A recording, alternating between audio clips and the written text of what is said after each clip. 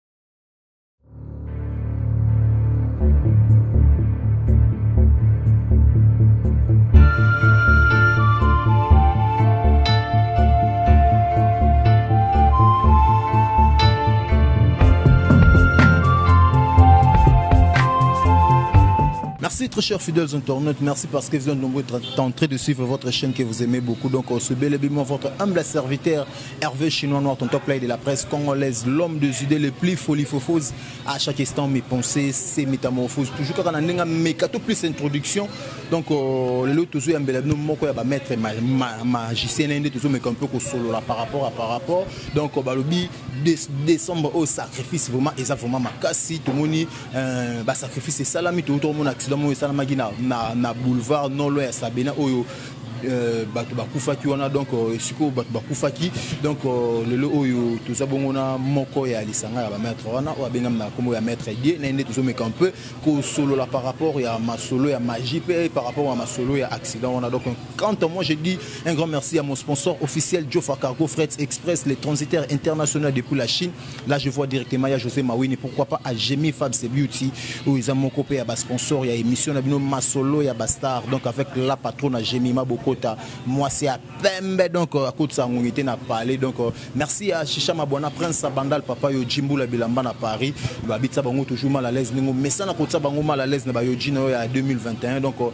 il passe à persi Mabona, bunker fiston sol une l'étoile d'asie merci à mon partenaire privé ya mabaya motema ya pamela Aridja, depuis la chine là je vois directement depuis paris un joli maya à ma foire babi Ibanga Kayo aura toujours Elengi pour Beta G26. Donc euh, je suis déjà avec mon invité, Maître Dier, à qui je dis bonjour Maître. Bonjour eh, Deshine nga na preferaka mingi kobenga yo Deshine mpo ntango ezokota nga na mémoire esalaka mwa bien eh, nga nasepelaka babenga ngai dieu de magicien donc dieu de magicien mpo bamaître bakomi ebele eh. Eh, oyoka o oh, maitre kingandi maitre kingandi sikoyo ezosala confusion maitre ya boxe to maitre soki ya bandenge ni ya bandenge ni donc moi je préfère ke bobenga nga vraiment die le magicien Merci beaucoup, Dieu les magiciens, maître Dieu les magiciens. Donc, euh, bye bye, Olanda Bisso Bangbaeba, magie au Bandiango, na Ajnini. Bon, nga magie, euh, donc, la robeta moi, le solo moi, mouké. Eh, nga maji ntango nga nazalaki na libumu ya mama na ngai eh, ezalaka journée moko mama ake bapasi ka ya kobota avant 9 mois ndenge ezalaka bapasi mwa ya kobota mama akenda ye mwa traitement na hôpital akutanaka na papa moko boye papa wana nde mutu atiaki lumière na kati ya libumu ya mama Donc tango papa wana asimbi maman libumu akoti lumière na ye na kati ya libumu ya maman oyo aboti ngai et place wana siko nazwaki lumière alors tango maman aye kobota ngai e mama akomi kotalisa ngai ke ndenge histoire na ngai ndenge nazwaki ndenge azwaki zemi na ngai nde ti naye kobotama alors ntango atalisi ngai abeteli ngai lisolo ya papa wana e après aye koapprendre ngai ke te papa wana abanda kosalaka science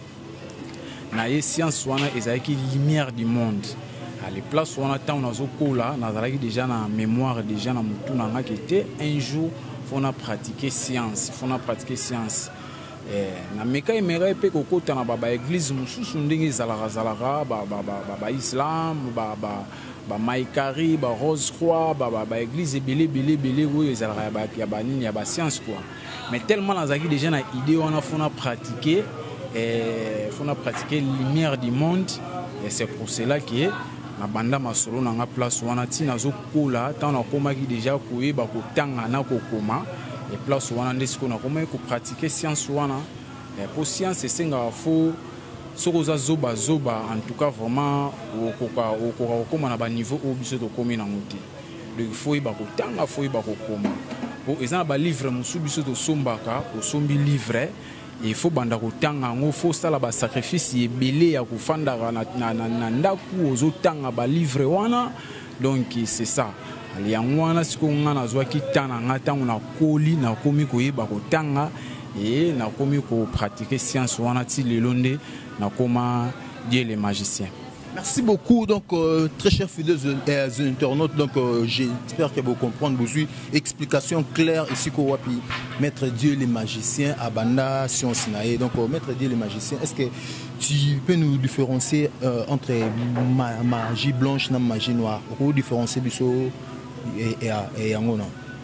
Ah oui, eh, magie noire na magie blanche eza différent makasi.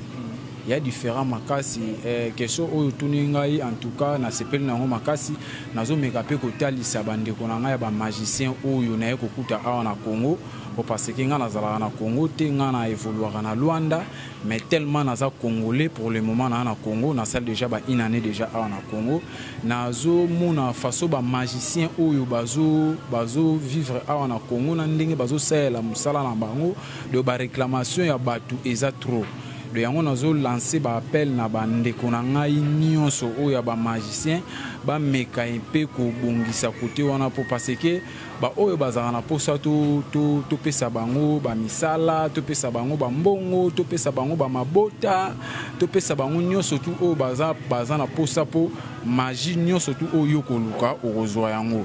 ya alors yango nazoyebisa bandeko na ngai ya bamagicien il faut toyeba kosala mosala mpo ntango tozosala mosala bien te bandimi na biso bazokima meme ata na baeglise omonaka ke bapaster eh, batindaka bapetit garçon bafille moko ya bien bien mpo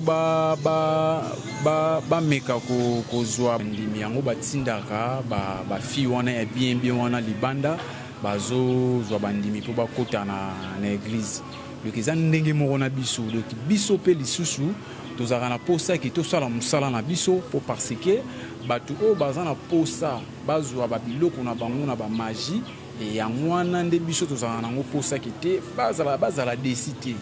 me sikoyo lelo nakozonga na question oyo oyo opose ngai magie noire na magie blanc eza différent différent yango eza nini banganga ba, ba, ba, ba, ba, ba, ba, ba, ba, ba, ba, ba, eza na banganga eza na bachef coutumier eh, wana ezalaka heure mosusu okomona ke batikelaki ye mosusu pa papa na bango papa na bango atiki ye akufi atikeli ye mosusu ezalaka euta epa koko koko akufi atikeli swati mwana kazi swati noko ndenge ka ezalaka zalaka mais sikoyo magie blanc eza différent donc magie blanc meme yo na famille na bino ozalaki na tata nganga te Donc oye epa na ngai relation na relation na yo et relation na ngai que te ah maître Dieu en tout cas nde naza bona na posa na évoluer na magie et na bana ko pesa ba cours ozo tanga ozo tanga ba livre et ozo landa ba ba norme na biso ndenge zaelaka place wana nde siko okoya kobima magicien mais oyo ya bango wana na ya bakitata nganga na bango wana wana ezalaka mwa difera epuis wana ezalaka nano fo ozala na ndoki ya butu mpo oliaka bato mais na kote na biso ata oza no ndoki ya butu te mpo oliaka bato mais ozotanga na yo ozotanga balivre ozorespecte kaka ba bacondition oyo eza na, eza na, na lumière du monde na biso oya okoma na o magicien donc toza un peu différent donc toza un peu différent Merci beaucoup. Euh, J'espère qu'inspecteur Joël Oyoki, euh, différence où ils entre magie, euh, ma, magie noire et ma, magie blanche. donc euh, maître die euh, baolanda biso bangi bayeba sikoyo ke non est ce que bino mpe na magie blanche bozwaka mpe temps ya koguérir bamalade nde tomona bato ya magie noire basalaka moto aza na mbasu moko boye maladi moko spirituel babwakela ye bakei nango na bahopitau ya ndenge na ndenge esimbi te me baye nango na bonganga esimbi ese bino mpe na magie blanche boza mpe na capacité wana ya ko guérir yango mais bien sûr bien sûr toza na capacité wana mpo na magie oyo biso tosalaka toza na facilité donc eza, eza magie oyo biso tosalaka toza na facilité ya kosala nyonso tu oyo babwakelaki yo o oh, babwakelaki yo o oh, basalaki yo boye o oh, basalaki yo boye oyo naza na mposa boye toza na facilité wana e en plus nazoyebisa yo eloko moko eh, magie blanche eza ndenge moko te na magie noire nazobandela su koyebisa yo yango mpo magie blanc eza mwa moke likolo par rapport ya magie ya magie noire mpo magie noire eza limité magie noire ezaka na afrique eh, mpo eh, monake magie magie noire emata ti na baeurope ekende ti na baetats-unis na baamerique wana en tout cas ezalaka vraiment difficile ezalaka na yango basalaka na bango mosala na minimise bango te basalaka na bango mosala mais bazalaka na mwa kokoso mwa moke par rapport na biso eh, mpo nga mpe avant nakóma na bamagie blanc oyo ndenge nayebisaki oyo nauta kotambola na baeglize ebeleebele nameka mpe kokɔta mwa moke na bamasolo ya baeglize de noire ndenge ezalaka nafongolaka mwa connaissance na ngai Eh, donc natalaki capacité ya magie noire na magie blanc eza mpenza différent monene ya différent monene vraiment yango nazoyebisa bandeko na ngai oyo basalaka magie noire magie noire eh, en tout cas vraiment bameka ba mpe kotanga baya koassocie biso oyo biso totangi magie blanche bameka koasosie biso biso tokoyede mpo na ngai eh, eloko moko na koloba ngai esalaka nga mpasi esalaka nga mpasi vraiment motu aye kete aza na mposa promotion ya mosala ke balongoli ye na mosala uswati amata grade ale ake na papa nganga uswati ake na chef coutumier e asengi ye bakondition nyonso motu ya bato asali volonté apesi osomba likasu apesi somba mungwa asombi somba boyeboye nsamba asombi e na suka na yango réaction moko mwa ezala eza te soko wana eza kofingisa bamagicien mpo nyonso tu eza magie magie blanc na magie noire nyonso eza bamagie mais bilo mosusu ezalaka ke non bino ah, bongi bo aide moto na problème moko oyo aza nango peut-être amata promotion to asala bo asala boye mais eza nzambe oyo aza créateur ya likolo mpe na se soki apermettre esalama esalama soki apermettre mpe te kosalama mpe te nzambe wi olobi bien nzambe mo sikoyo fo sikoyo oloba sikoyo nzambe nini po die de magie aza Dieu de magie a existaka. Dieu de magie existe bien sûr mais baza na sous ordre ya Nzambe. nzambe mpe ya magie mpe azali no sikoyo sudrose ya nzambe yango oyo ozolobela nzambe nini wana fo meka ko... le créateur du ciel et la terre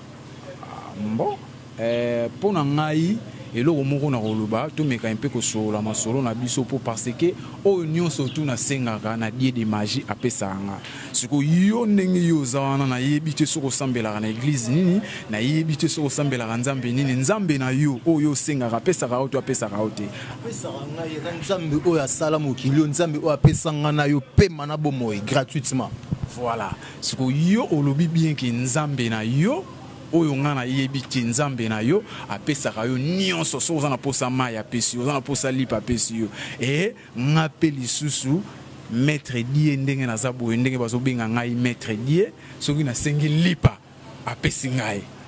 na sengi libanga apesi ngai na sengi mayi apesi ngai sikoyo na tika nzambe wana na kina nzambe mosusu to ndenge ni meka ye mpe ko explique ngai pour place wana azo comprendre te po biso tosambelaka nzambe oyo apesaka biso biloko nyonso tozwa nango mposa na miniti oni naza boye wana na posa na na posa ke te nazwa mwa lare moko boye nafutela frai ya, ya mwana e nake na nzambe na ngai nzambe na ngai mpe apesi ngai sikoyebisa ngai olingi ochange ngai ka nzambe ka boye vraiment mon frère merci beaucoup merci très cher fidèles internautes donc on continue toujours na invité na biso euh, maître die le magicien donc euh, na nde tozodéveloppe malembe malembe malembe malembe na na masolo na biso ya lelo donc euh, quant à moi je dis un grand merci à ma privée hein, Deps de Bundes depuis l'Allemagne donc euh, ba biba na tout Allemagne au balinga Hervé chinois noir beau continuer toujours ko soutenir oyabino mopanzi sango molobeli tonton play donc euh,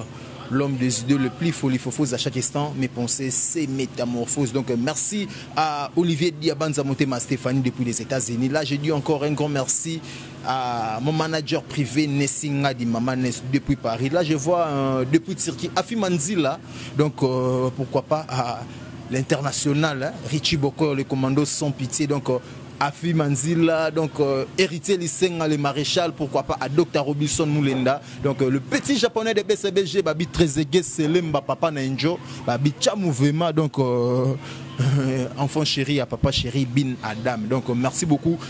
na colis oyo bo préparer déjà pour na ndeko na bino Hervé chinois noir na moni yango déjà donc j'espère que kala te donc awa donc d'ici la semaine prochaine na oza déjà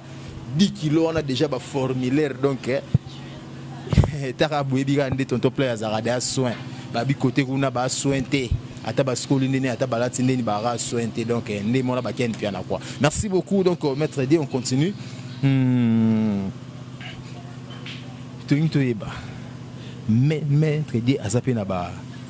maitre mosusu oyo babangisaka ye awa na congo en tout cas eh, bamagicien baza biso bamagicien nazomitya na nga na kati biso bamagicien toyaka na defo moko lelo eh, motu moko akobenga akobenga maitre moko peut-être napesi exemple ayebisi eke te nde naza boyo na na posa Euh, porte-monnaie magique ebimiselaka nga 10 000 dollars obe 50 000 dollars par jour mais okomona bamaître mosusu oyo ngai naye kokutaka awa na congo okomona aza na capacité wana te mais akondima eloko ezosalanga siko mpasi yango wana sikoyo eh, neti ndenge outi olobaka ete accident oyo euti kosalema euti kosalema na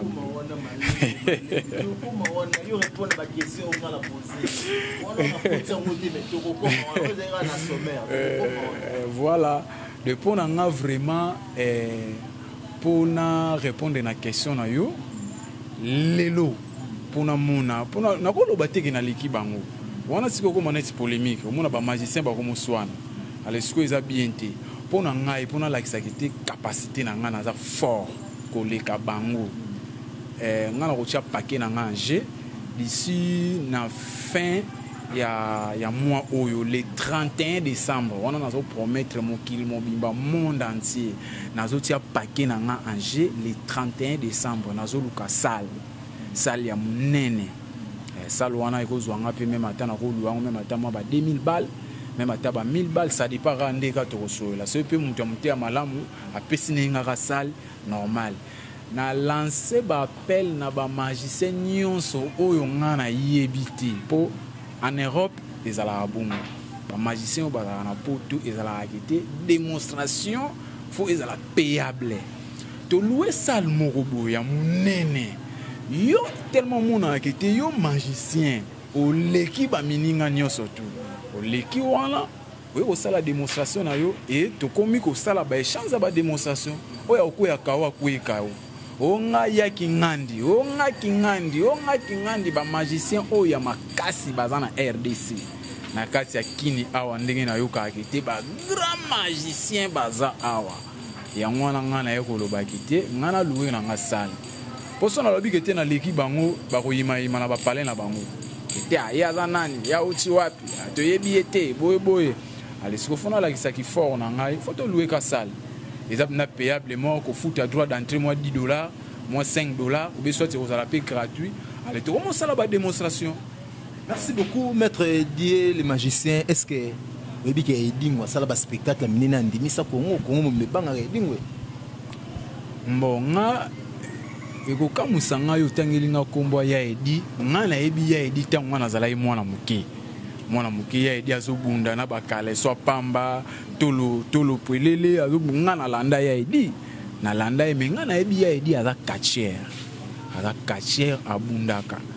donc mpo na ngai ekokamwisa ngai yo lelo yo kolobaka ete ya edi aza magicien ekokamwisa ngai soki peut-être ke neti dernièrement na bauta bauta koyebisa ngai oya edi akoma kolia bato michopo wana eza bademonstration demonstration eza magie te mon frère eh, tomeka mpe ko toyokaka mpe ye moko aleka mpe na batele alobaki no ya d'autres pasteur oyo bakendaka kozwa makambo mpa na ye seke aza magicien apart d'abord catch aza na temple oyo ya ye oyo mpe bato oyo bakendaka kozwa makambo ya mpa na ye aboyaka nde kotanga bakomba bapasteur wana mpo esalaka neti neti mbo eloko na koloba boye ya edi place yo ozali soki ozolanda ngai ngai naza maître die naza maître die le magicien tellement bazokumisa yo awa na dechine ke te yo oza mystique koleka bamagicien nyonso tu de mpo na ngai nakoluka na kati te e mosusu na kati yo yekola okobamba nga mwa ndeka ezalaka zalaka te kote kuna te na kati te tolui ata mwa sale te tolui esala monene bato bafutifuti bambongo na bango soki bato bakolobaka te o te bambongo wana bakozwa yango batya yango na bapoche totya yango siko gratuit ya edi oprepare mpenza bien ozwi bakisi na yo wana ntango ngai na bana kolanda yango ntango nazalaki mwana moke ozwi bakisi no nyonso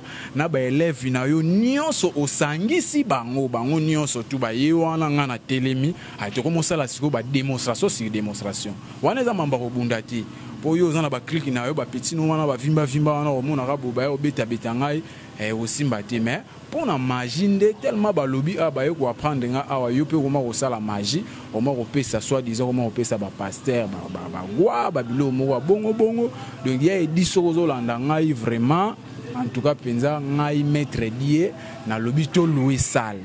To louer na biso salle eza ngo petit problème. Le 31 décembre kala te lelo toa soki le 11 soki le 12 na oyo bate date yango. Le yana ngo kala te donc to louer na nga moko na ko louer salle ya edi. Ozui même ata 10 petits na yo ou bien 20 pour ça ba petits ebele ya ba catcheurs te ya ba magiciens s'il vous plaît. Ozui bango botandami wana bino nionso tu yo za liboso. Ale tosali musala oyo bazo bengela biso ba magicien po nga nayebeli yo oza catcher eh, donc reponse pona kopesa pona ya edi yango wana soki azolanda ngai ya edi bongama donc bongama oza donki yo kutu nakobenga yo papa po nga nazolanda yo ntango ozali yo mpe ntango ozalaki jeune donc c'est ça de ya edi bongama bongisa bakisi na yo nyonso Oye na yango comme ça tobanda kobetana sikoyo fara fara totala sikoyo soki nani aza na force ya makasi na kote ya magie Merci beaucoup maître Dieu na sala émission une fois na maître Kokoy et puis na maître Arnold Ngouma na tuna bango par rapport ya makambo ba magie ba bike non maître surtout maître Arnold Ngouma ba ke ye amona moto aleki ye te bino nyonso tu boza bana même si ya dodo ma pe ababino tu boza bana mais ce que yo ozo apprendre biso ke awa yeno bon eza déjà mpe defi deja opesi lokola bango eh, babaki oza mwana donc bango moto aleki bango aza te donc deja opesi mpe déjà defi keno le 31 boluka salle oyo aza na mposa bocontacte donc numéro eza wana numéro eza oyo oh, oh, to mposa asala battle ya battle spirituel na maître die donc bo contacter chinois noir numéro eza wana donc nako komisa bino maloba pa ya maître die bao basololaka ne bobenga ye directement bao mpe basololaka na ye te bao bobenga na numéro wana donc esala vraiment bien euh, mais maître die tokomokende malembe malembe na suka émission na biso balobi nous sommes na, na mois ya décembre mois ya basacrifice la semaine passée toyota komona ndeko na bino moko babengi na nkombo ya mitera euh, champagne donc euh, eza Mitterrand chungu champagne te bato bakanisaki Mitterrand chungu champagne mais eza Mitterrand mosusu ye baza magicien kaka lokola maître die donc oyo autaki kosacrifie bana bato en pleine ambiance bauti ambiance bazozonga accident esalami na boulevard non loin ya sabena tomona kati ya motuka petit cercueil ya rouge ebimi deux croix croix croix moko libaya ya noir na mayaka et puis na croix moko eza na na Jésus Christ na deux bikeko ya basi nayebi te oyo oh, moma alima basacrifice par, par, par seke nayoka bino bamagi na nyonso bato bayeluka boye eh, esengaka nango makila te boye boye boye nayebi ah, te meka mpe na koeclaircir biso par rapport ya lisolo yango ezalaki baretour ya Mitterrand alingaka asala esimbi te to ndeni? Bon, eloko na koloba omoni yango nabandelaki nanu koloba makambo oyo bamagicien bazokosa biso trop na barepresentant na biso bazokosa biso trop na barepresentant na biso yango nazoyebisa bamagicien po ngai soki olandi nga de le debut na nga nazo bude mutu te ona alobaka te nga naleki mutu wana mutu wana aleki nga non donc nga naza genre wana te donc nga nazopesa conseil na bamagicien botanga magie mpo boevolue ozomona neti nga nde naza boye nga naza representant ya lumière du monde na Afrique. Afrique mobimba eza na mutu na ngai. Afrique mobimba eza na mutu na ngai. Donc ngai naza representant ya lumière du monde na Afrique. Donc sikoyo naza pe na represent naza pe na chef na nga oyo asimbi monde mobimba azali oyo pe asimbi Europe et, eh, Amérique. Vous comprenez? Ba, so ba combo. a ah, te wana eza vraiment wana eza personnel ah, olingi okota olingi okota so olingi okota so olingi okota wana te ngai asala nzambe na ngai asambelaka le dieu le dieu tout puissant le créateur du ciel à terre jova jiré jova rafa le lion de la tribu de jida ah ouais nazongi na question na nga eh, toza mpe na barepresentant na biso wana do barepresentant na biso wana bango bakoma ko eh, donc na, na, na mokuse nakoloba boye sacrifice ezalaka te mpo na biso mpo na bino baclient mpo na bino bandimi non sacrifice ezalaka mpo na bandimi te raisonne soki moto ayeke te ah, naza na mposa nguba na ngai natekaka ebana kotambola sikoyo nakosenga yo motu par rapport à quoi yo basacrifice wana ezalaka mpo na biso bamagicien yo neti nga boye nde naza boye si nasalaki deja sacrifice na nga kala ya fin de l'année si nasalaki yango deja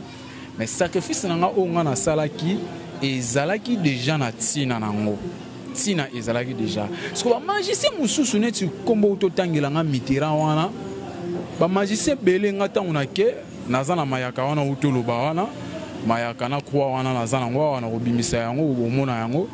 Nauti kozwa efandi wana depuis journee accident esalemaki bazokoka kokende kozwa yango te bazokoka te mpo pouvoir ya mitera esimbamaki na mayaka wana na croix wana babikeko wana nyonso tu wana ntango bato bamonaki yango mokili emonaki yango wana eza su na sens te mais eye kosala nga mpasi natali ah mais ndeni bamagicien baza ebele bazokoka kokende kozwa molimo ya Mitterrand te place azali mpo wana eza molimo na ye nayebi science asalaka te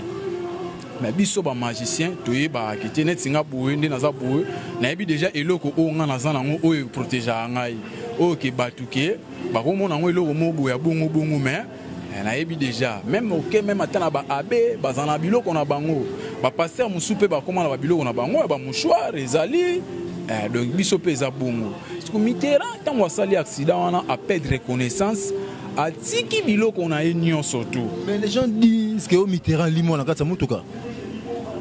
mbo wana nayebi te bato bazalaki sur place eh? bato bazalaki sur place mais je ne pense pas Eh, po soki alimwaka alinga amona na sute doneti nga so nalimwe na komona na sute po place wana ezalaki danger eh, mais ye tellement amonanaki seka alimwaki te euh, cela veut dire que non yo na mitterrand boyebani te nga na mitterrand toyebani te mais esalaki nga mpasi ndenge namona ye kete aza ndeko na nga magicien bomoi na ye eza place wana Yango wana ngai nakendaki, nazwi yango, nazwi mayaka wana, nazwi croix wana, naza nango awa nde nazoloba boye, eza na ngai seko. Oui. Okomona mpo ngai na Santu Thomas buka mona buka kwikila. Yango eza nango awa, natya yango kutu na poche, nazotambola nango. Nde Cela veut dire yo botoli ne Mitterrand pouvoir na ye. eh, nabotoli ye te, nasimbeli ye mpo siko bino boyebani te sikoyo bokutana ne wapi mpo arécupere pouvoir na ye te ndeka tozosala baémission boye akocontacte ngai ti nakotika numero na ngai mpo namoni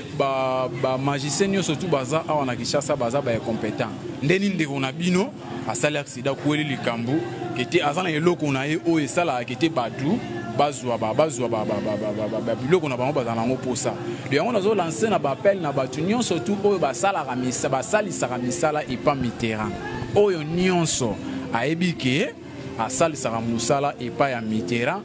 soit musala wana esimba soit esimba te a contacter nga. Po nga naza na makambo ya Mitterrand. Do naza nango awa. Do na minute wana naza boye na kozela ti jour nionso tu Mitterrand akokoma bien.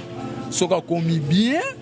aye kosenga epa na ngai nazwi biloko na ye napesi ye soki akoki suta abangi na ye magie po accident wana ebangisi ye eh, ebangisi ye vraiment donc ye mosusu akosundola mpe atika bongwani akomi paster merci maître eh, na kati oyo moke tozongi mwa nsima moke pourquoi pas air accident na esalami biloko oyo mitterrand asalelaka mosala na ye pourquoi pas bino bandeko na bamagicien bozwaki yango spirituellement ke emonana bongo na miso ya bato epolelaka bambula bongo bon ngai accident wana naye koyeba yango esalemaki dimanche ngai naye koyeba yango naye koyeba yango eh, mercredi sur banet naye koyeba yango mercredi sur banet donc nalingaki nasalela idée oyo olobi naye ngai nasalela idée wana kite nazwa yango spirituellement nazwi yango ekomi na ngai ale sikoyo ye alingaka azala alingaka azala na keskese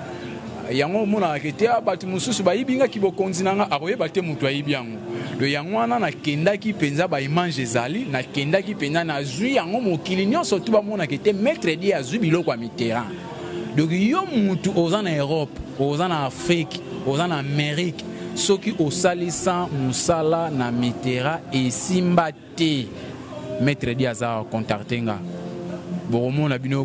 kutu eh, eh, kutu mpo na ngai nakoprefere kutu bato oyo basalisa misala epa mitera baoyo esimba babenga nga te me baoyo esimba te babenga nga mpo ngai nalingaka place oyo ezalaka eh, difficulté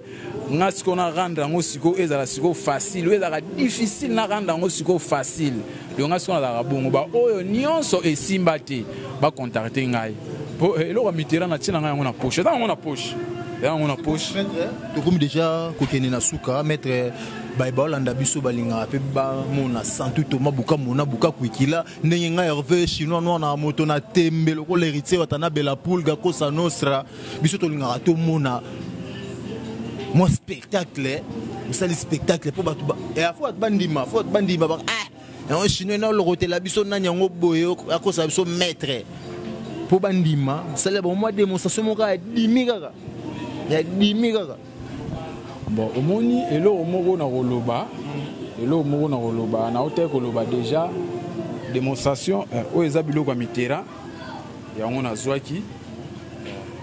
nakangisaki yango ezalaki ya kokangama te normalement oyo na oyo ezalaka ya kokangama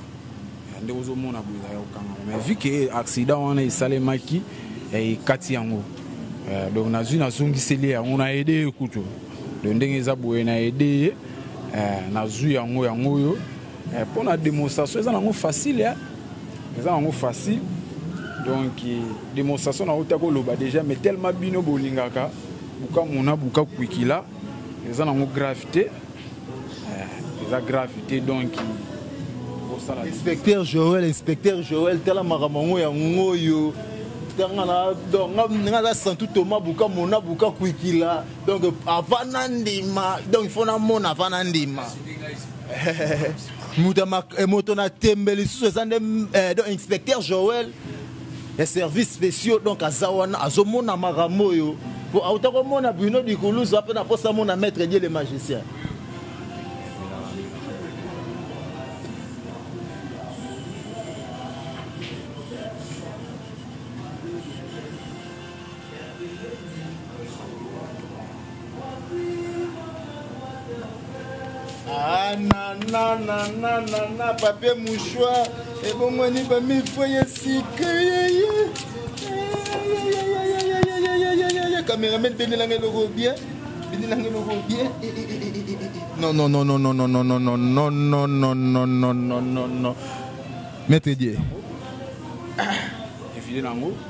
Omoni makambo oyo esengaka bukamu na bukaku ikila eh, oyo nde eza nango eza nango kaka nasali kaka mwa estre moko ya moke ya moke kaka ya moke mpo na ngai vraiment na magie na biso ah, oyo eza biloko ya mike te yango problème te zwa yango zwa yango simba yango eza ya fo te eh. eh, eza ya fote donc eza yango eza ya fote do ndenge eza boye tokobima topela yango biere donc todame esili donc eza nango facile eza nango facile donc eh, makambo yango yango oyo yo soki ya edi ndenge outi olobela nga mpo ngai sikoyo kotangaka bakombo te sikoyo koma opesa nga siko kanda eh, maître arnon nguma nde abimisela nga 5000 dollars na plateau baémission eza mbo ye arnold nguma olobi nani arnold nguma aya ah, prompte eza prompte kasi ayat le 31 eza mosika te mon frère ozo komplike mambo ndeni le 31 ya mosika te eloko ya mitera yango oyo eloko ya mitera yango oyo arnold nguma yo ozalaki awa na kisasa ozalaki na kisasa kokosa te ke o oh non nazalaki na kisasa te Ozalaki na kisasa na kisasa. Nani so olobi suzo uto tanga su kombo. Tanga i maître Bruno Dikuluzu, maître Kokoy, maître David. Ba maître baza ebele ba adodoma na na maître eh, le gourou du temple azala matete boye na mboloko. Ah. bino nionso bozalaki boza ba frère na nga ba magicien bino nionso tu bozalaki boza ba frère na nga ba magicien eloko ya mitterrand yango oyo bokokaki kokende kozwa yango te yango oyo oyo aza makasi aye kozwa yango epa na ngai oyo aza makasi aye kozwa yango tobunda sikoyo na mpo ngai sikoyo eza likambo ya tembe tembe sir tembe eloko oyo omona yeke te o oh, te mitterrand bakisi bakisi wi oui. A pratikaka magie. Eh, wana pratikaka na ye magie donc eh, c'est ça. magie eza eza musala na ye asalaka e, nga sikoyo nake nazwi na protege ye eza teke nabotoli ye pouvoir e, eh, nabotoli ye pouvoir te nazwi na protege ye nasimbi yango soki yo omona attention hein, eloko ya motu moko boye ya famille moko boye oke e mosusu batikelaki yango mpa koko na bango sikoyo oke oke kozwa yango oyebi te elobi nalalaki nde nini eh, mosusu bamaka mosusu namona ye na butu mais tellement naza maître die le spirituel nakangaki yango kaka nakangi yango naotambola yango na poche ndenge eza boya na poche nakozonga mpe na palin eloko moko ekomela ngai na nzela eza te eh, donc nakangi yango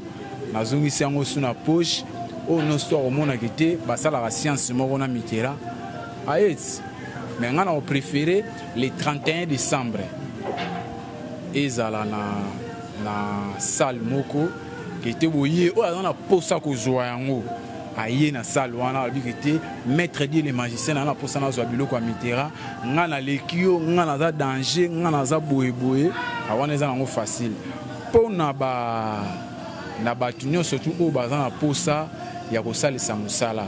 nga naza comme euh, comme pasteur nakoloba peut-être na pasteur te mais comme pasteur donc naza na église na nga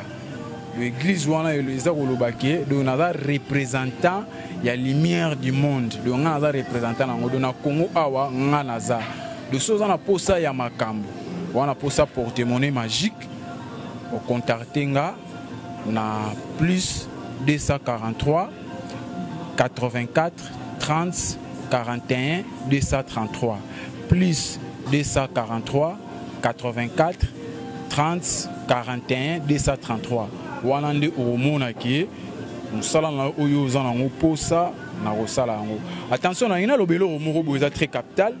Bato ebele bayebaka te, bato ebele bakanisaka ke te eh, porte-monnaie magique ezalaka. Porte-monnaie magique existaka te, ezalaka te. Wana ba frère nyonso tu boyeba yango, porte-monnaie magique existaka te. Mais eloko existaka nde eza prière. Prière nde neti mama na biso nazomona na liboso wana asimbisaki ya mwindu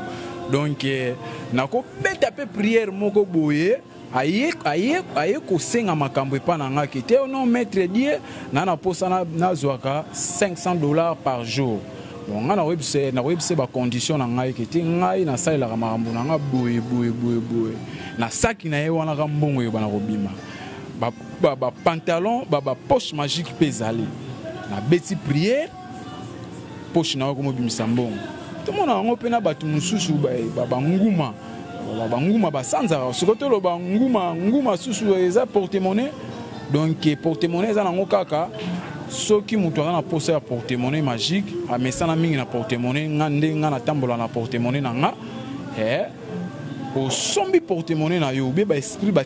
Natindeli yo porte-monnaie, napesi yo ba prières oyo yo oyo okotanga ntango ozotanga yango ale mbongo ezobima soki otangi prière wana te mbongo ekobima te de cela veut dire porte-monnaie magique ezalaka te mais prière nde eexistaka donc eloko moko na kopesa baconseil na na bandimi na biso yango wana donc eh, eloko moko na koloba lisusu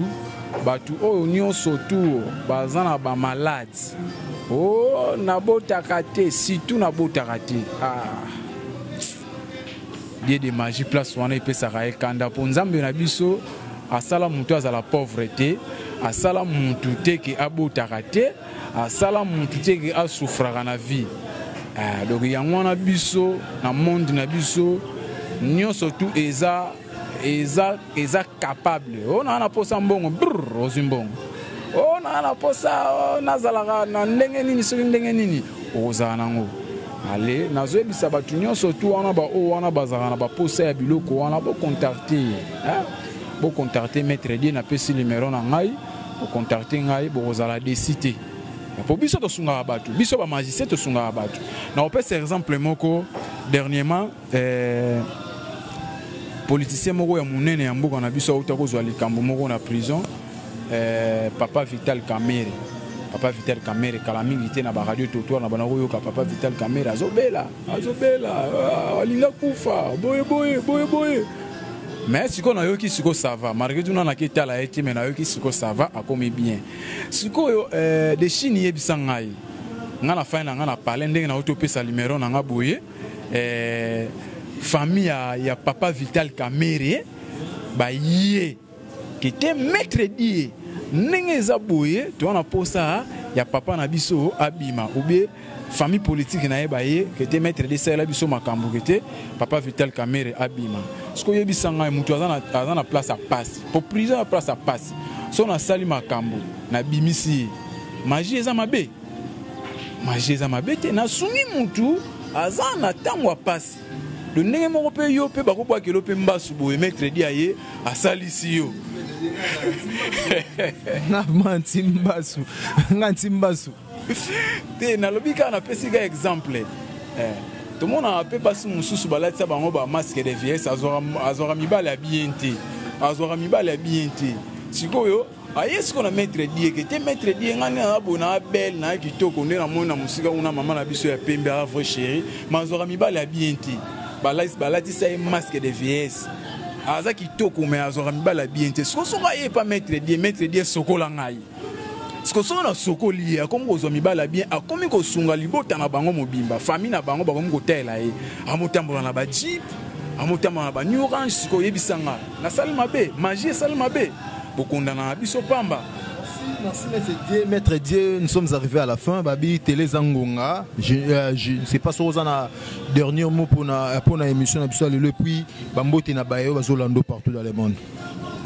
En tout cas, en monde de la fin nanga ezali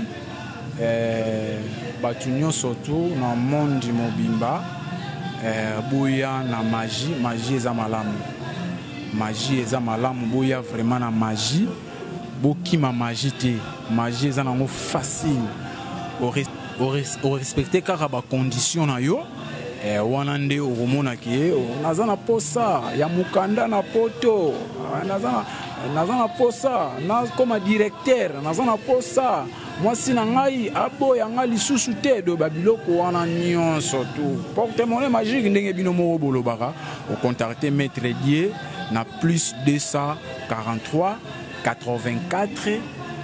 30 41 233 de wana bokozala desi te bokozala desi te bokozala na solution na makambo na bino nyonso boya boya boya ebele magie yango oyo ezofula bato toa na monde ya vitesse donc eloko na koloba kaka yango wana mpo na bandeko na ngai ya bamagicien rendez vous le 31 en tout cas ngai nakobeta vraiment sete oyo akoya te magicien oyo akoya te seke ayebi likambo te seke ayebi likambo te ayebi magi te ah, donc azongela susu ekole abanda lisusu kotanga mais soki oye ekozala bien ekozala nango na gombe ekozala nango na limete ekozala nango na mont fleuri basala eza ebele wana mpena tokolanse baappel vraiment tokoleka na ba rtnc tosangani meme ata 10 meme ata 20 biso nyonso ba magicien euh, oyo alobi alobi alobi alobi tokutani le 31 décembre na 0 heure merci merci beaucoup merci euh, maître Guy le magicien donc euh, nous sommes arrivé à la fin de notre émission donc euh, bino moko boyoki ba magicien tout maître Dieu asengi battle na bino le 31 décembre oyo nyonso ayebi ke aza magicien boya bosala battle bo confirmer nani aleki moninga donc euh, merci très cher fidèles internautes nous sommes déjà à la fin de notre émission donc je reçu pour vous maître Dieu euh, le magicien donc bino moko boyoki maître sololi na ye donc quant à moi j'en profite, c'est pour remercier Baynou Soba Soutenaranga, Hervé Chinois Noir, le tonton play de la presse congolaise l'homme des idées, le plus folifofose à chaque question mes pensées, c'est métamorphose. Donc, euh, merci à mon sponsor officiel, Jofar Cargo, Fret Express, les transitaires internationaux depuis la Chine. Là, je vois directement, il y a José Mawini. Merci beaucoup à Jamie Fab, Beauty, au Pesa Moko, il sponsor, Il y a émission de Masolo à Bastard avec votre humble serviteur Hervé Chinois Noir. Donc euh, là, je vois directement la patronne Jemima Bokota, moi c'est à Pembe. Donc euh, il y a côté sans unité n'a parlé, moi c'est sans doute, moi c'est sans tâche. Donc euh, ye na ye te soki apakolaka miliki to basanza eko sanza to abotama na kati ya maki donc merci à chicha mabwana prince abandal papa yoji mbula bilamba na paris lipasa persi mabwana donc merci à l'inspecteur L'inspecteur, l'inspecteur, donc l'inspecteur de tous les inspecteurs, donc euh, l'inspecteur Joël, donc euh, services spéciaux, Babi Mokonza, Mapinga, bon mega route pour naza déjà pe na oyanga parapluie, inspecteur Joël Azawana pour nous protéger toujours petit nae, leki nae, mwana nae, donc euh, donc euh, eh, pour na ngai vraiment na kolobela inspecteur inspecteur Joël, hein? na kolobela inspecteur Joël ngai oyo naza na ngai awa. Le soza na posa makambo, ozui na yo makambo. Le pont na yo eza nango na condition te kobanga na yo te oyo te mère akodaye père akodaye te dona aza na nga awa ozwi na yo makambo ya ofele dona aza na nga awa napesi ye mbote esika azali inspecteur joel Merci beaucoup, inspecteur Joël. J'espère que vous landé mission Oyoki, au maître euh, le magicien Lobby. Donc, merci à celui qu'on appelle. Euh,